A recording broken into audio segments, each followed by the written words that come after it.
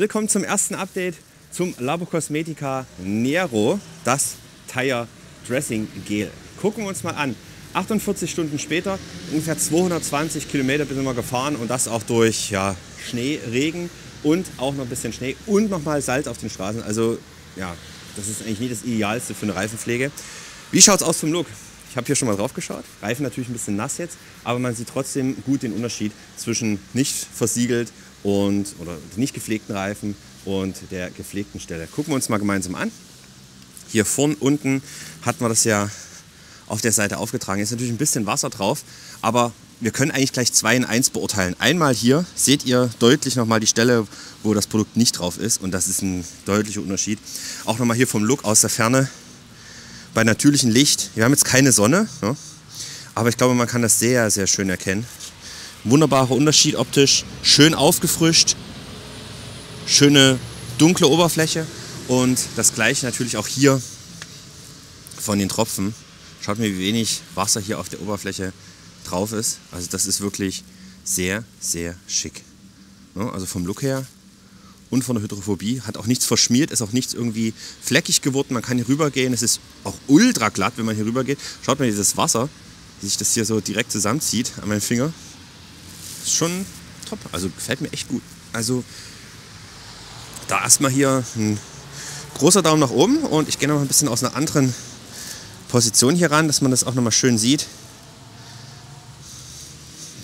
Also wir werden uns das auch noch im Sonnenlicht mal anschauen später. Vielleicht haben wir beim nächsten Update da die Möglichkeit, aber aktuell ist bei uns immer ständig nur bewölkt. Aber ich glaube, man kann es gut erkennen. Hier und auch hier oben, so ein bisschen von oben drauf geschaut. Das ist ja so ein bisschen die Position. Hier unser Blickwinkel, unser natürlicher Blickwinkel, wenn man daneben steht. Sehr schön, gefällt mir gut und hat auch top gehalten, trotz der ganzen Nässe und des Salzes und des Drecks, der hier drauf geflogen ist. Sehr, sehr schön.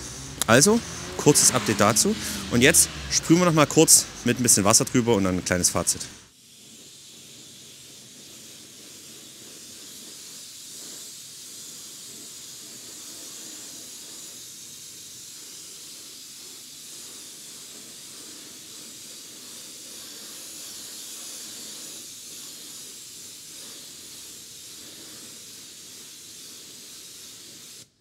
Also das Nero nach 48 Stunden, ja alles noch ziemlich frisch, aber es hat trotzdem schon echt gut durchgehalten. Ich bin sehr, sehr positiv beeindruckt, auch hier bei diesen Witterungen. Und das ist natürlich absolut das schlechteste Wetter für eine Reifenpflege. Und wie immer können wir selber entscheiden, ob es eine Reifenpflege im Winter raufmacht. Aber es lässt sich, wenn man eine Garage hat oder einen Carport, einfach mal bei einem normalen, angenehmen Tag, wenn es jetzt gerade nicht irgendwie stürmt und schneit, lässt sich das da mal ruckzuck drauf machen und hält auch bisher sehr, sehr gut. Wir werden das Ganze auch langzeitmäßig betrachten. Jetzt hier nach den 48 Stunden, ist natürlich noch alles sehr, sehr jung und frisch.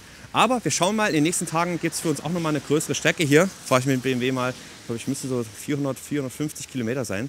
Und dann werden wir uns das Ganze nach 450, 600, 700 Kilometer insgesamt nochmal anschauen, wie es da vom Zustand ist, weil da rollt es auch ziemlich flott und schnell über die Autobahn. Gucken wir uns an.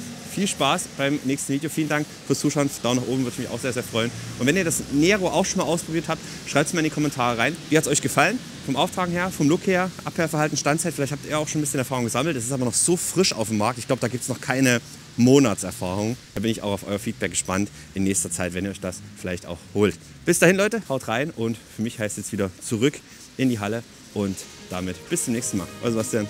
Ciao.